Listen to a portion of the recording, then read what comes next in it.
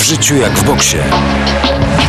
Jeśli chcesz coś wygrać, musisz o to walczyć. I musisz być w tym dobry. Wojak dobry jest. A ze mną są nieliczne przedstawicielki pięk, płci pięknej w boksie amatorskim, czyli Sandra Drabik. Ewa Piątkowska. dziewczyny, powiedzcie, jak zaczęła się wasza przygoda z boksem? No moja całkiem niedawno, niecałe w 2009 roku e, pojechałam sobie na Mistrzostwa Polski, żeby spróbować swoich sił i od tamtej pory e, zostałam w boksie amatorskim. Spodobało mi się po pierwszych zawodach i tak przygoda trwa nadal.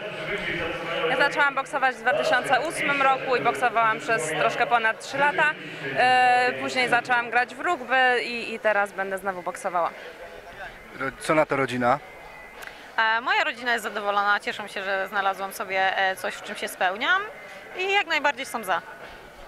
Moi rodzice troszkę się boją o mnie, ale wiadomo, że też mi kibicują i, cieszą się, że się spełniam, że znalazłam coś, co, co mnie pasjonuje. Jak plany przejścia na zawodowstwo? E, ja na razie nie planuję. Dlaczego? E, No chciałabym się przygotowywać do zawodów amatorskich, może w przyszłości e, na Igrzyska Olimpijskie. Ja planuję i myślę, że e, zadebiutuję w lutym w przyszłym roku.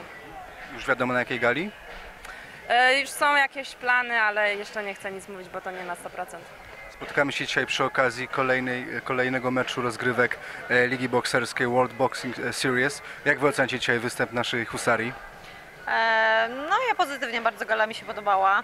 No, niestety mamy tu dwie porażki, no niestety chłopakom nie poszło troszeczkę tutaj, no ale myślę, że to jest dla nich e, dobrze, kolejne starty. E, doszkalają się i, i, i no jak najbardziej, oby więcej takich gal. E, Gala bardzo dobrze zorganizowana i podoba mi się ten pomysł właśnie WSB, dlatego że walki są wyrównane, e, nie ma takiego, takiej przepaści między zawodnikami jak w boksie zawodowym czasami bywa. I no co dzisiaj podobały mi się walki e, Dawida Michalusa, e, końcówka Mateusza Mazika też była bardzo dobra. Szkoda, że nie, nie mógł boksować Tomek Jabłoński, bo, bo bardzo dobrze mu idzie ostatnio, więc chciałybyśmy go zobaczyć, no ale niestety przeciwnik nie zrobił wagi. E, no i no Siergiej Kuźmin bardzo ładnie, tam akurat tutaj miał najłatwiejszego przeciwnika, albo on był tak, tak dobry, że, że nie pozwolił mu poboksować. No i najcięższą przeprawę chyba miał Michał Olaś. No, ciężko się to oglądało, bo jednak troszkę, troszkę zebrał, no ale wytrzymał do końca, na pewno wnioski wyciągnie i będzie trenował. Zobaczymy jak rewanż. A, tre, Nie, myślę, że koleżanka wszystko powiedziała. a, treningi, Podzielam e, to samo zdanie. Tak, zgadzam się z przedmówczynią. a treningi zabierają wam dużo czasu? E, no, sporo, bardzo dużo. W tygodniu. To znaczy, no zależy, jak jestem e, w Kielcach, to jest e, trening dwa razy dziennie lub raz dziennie, a jak jestem na karze, no to są e, około czterech treningów dziennie.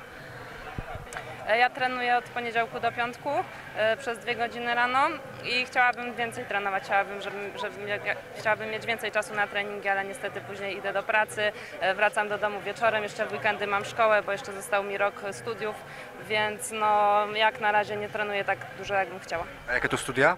Informatyka. Informatyka. Dobra, dziękuję paniom, obu paniom za wywiad Dziękujemy bardzo. Dziękuję bardzo. i życzę sukcesów sportowych. Dzięki.